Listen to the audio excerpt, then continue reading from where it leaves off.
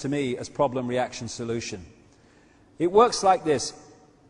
You um, want to change society in a certain way here. You know that if you announce that openly, you're going to get an adverse reaction from the people. Imagine if the changes that have happened since 9 11 in terms of the destruction of uh, freedoms and civil liberties had been proposed without 9 11.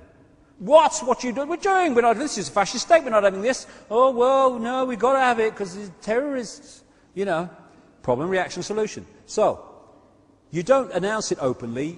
You, at stage one, create a problem. Terrorist bomb. I'm coming out. Terrorist bomb. Um, I've got a wire loose. I read that in the mirror once. He's got a wire loose, he said. They're right. and you create a problem terrorist bomb, war, run on a currency, credit crunch, rising food prices. Anything that will allow you to offer the solution you want to change society. You then tell the people the version of the problem that you want them to believe, i.e., bin Laden did this, Lee Harvey Oswald did this.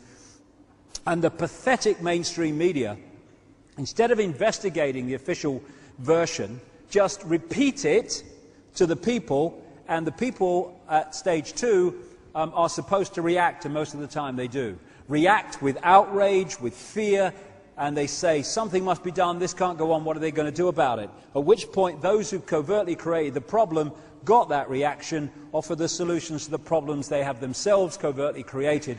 And those solutions are changes in society which advance the Orwellian state and the centralization of power, so the few can have more and more power over the many by this centralization of power.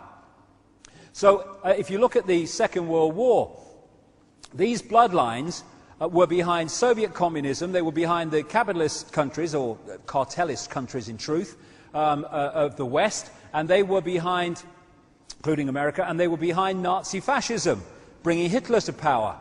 They then bring them in conflict called a Second World War.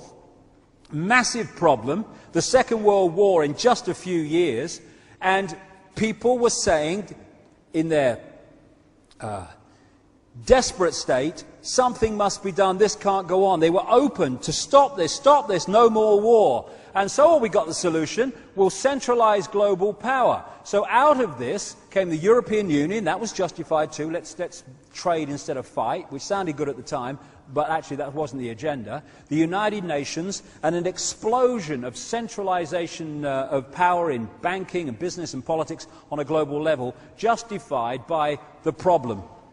None of which would happen, have happened had it not been for the Second World War, which these bloodlines funded, including the Bush family. The George Bush's grandfather, Prescott Bush, was one of the major conduits for funding Hitler through a company called the Union Banking Corporation that interfaced with the um, banking and uh, steel empire of a, gang, a, guy called Fritz Thyssen in Germany, who was an acknowledged funder of Hitler, and through that, how does anyone think that Germany went from thousands of percent inflation to a war machine that can take on the world in a few years because of outside influence and support, because they wanted that war? There's even another version of this now called no problem reaction solution, i.e., weapons of mass destruction in Iraq. You don't even need a real problem, you just need the perception of it.